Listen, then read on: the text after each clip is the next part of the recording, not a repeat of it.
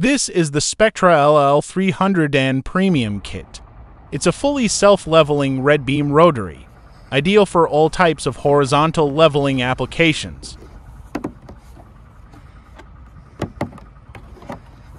It has a range of 500 meters diameter and an accuracy of 2.2 millimeters at 30 meters. A 1 meter drop test and an impressive IP rating of IP66. It's fully rechargeable and has a 45 hour runtime from a 6 to 8 hour charge. The kit comes as standard with the core function AHR320 detector. This has up and down arrows, a front and rear display, and an audible tone for height, low, and level. The adjustable detector bracket clamps onto all standard surveying staffs.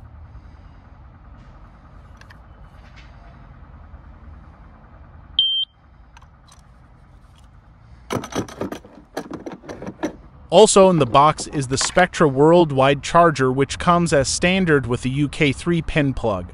Spectra have also included plug adapters for the US, Canada, Europe, and Australia.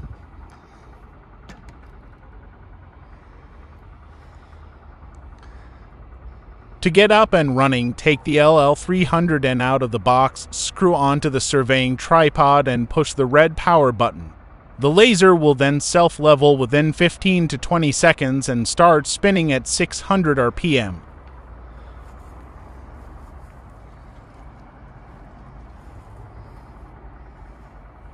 You will then have a 360 degree horizontal datum across your worksite.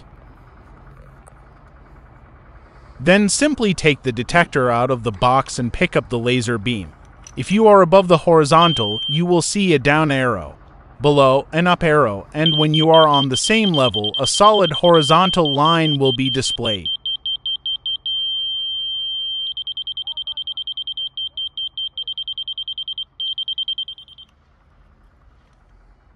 The kit can also be upgraded to have the Spectra HL450 detector which features a larger pickup window as well as displaying in millimeters and inches the elevation or drop.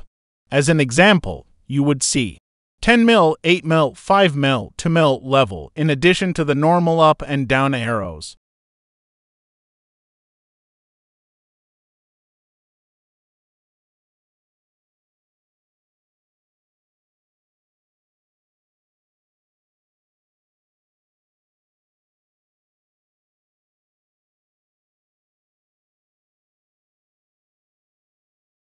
If you want to set slopes or gradients, typically for sewer pipes, drains, or ramps, the Spectra RC601 remote control can be added to the kit.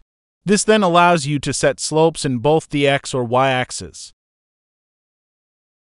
The Spectra LL300N Premium Kit comes as standard with a telescopic four meter surveying staff with 0 mm at ground level and a clip-on vial to ensure the staff is plumb.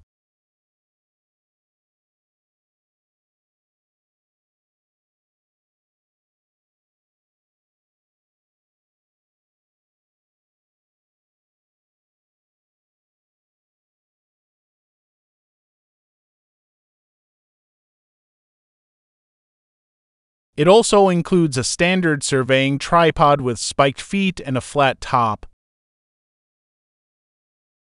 Thanks for watching.